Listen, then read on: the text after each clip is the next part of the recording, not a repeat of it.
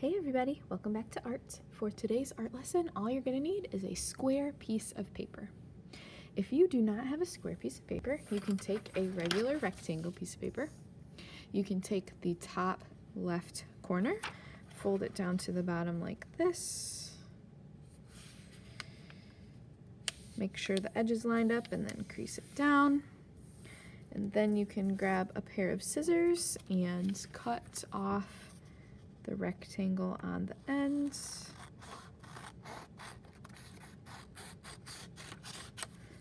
And you'll have a square piece of paper. Today we are going to be creating some origami together. Origami is the art of paper folding. We're going to be making a bookmark because it is almost March is reading month. This is a cool bookmark that you can put on the corner of your book. So if you have a book and you're on a page you can stick it in the top corner like this and you've got a bookmark. All right, let's get started. So you're gonna take your square piece of paper. The first thing we're gonna do is turn it so that it looks like a diamond instead of a square. We are going to fold the bottom corner up to the top corner Two really important things about origami. Number one, your paper should be lined up really, really perfect every time. And you need to push down on your creases the best that you can. If you don't push down very well, then it won't work out in the end. After we folded our paper in half like this, should look like a triangle. The next thing we're gonna do is take the right corner and fold it up to the top corner.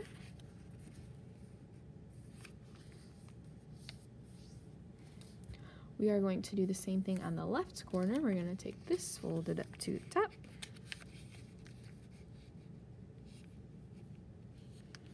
Crease it. Awesome. We can actually unfold these for right now, and you should see a diamond in the middle with two triangles on the side. We're gonna take one flap from the top, so not both of them, but just this top one. And we're gonna fold this top point down to the bottom edge, like this.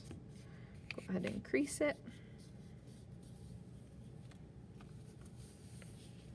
Now I'm going to take the left corner and fold it over to the middle like this. I'm going to take the right corner and do the same thing, fold it over to the middle.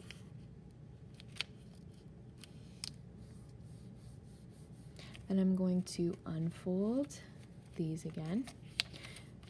Now the last step is going to be lifting this back up to the top corner and I'm going to open this pouch right here and tuck the top flap inside.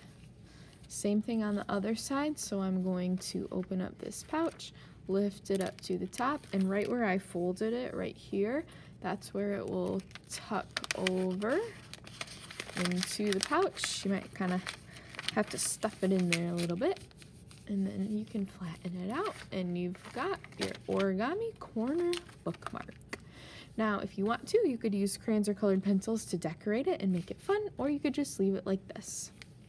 When you're all done, make sure you take a picture of it and submit it to Schoology. If you want, you could take a picture of it on your book. Make sure you upload that picture and then you'll be all done with art for this week. Hopefully a fun new bookmark will make reading in March even more fun. Have a great week, everybody, and I will see you next time.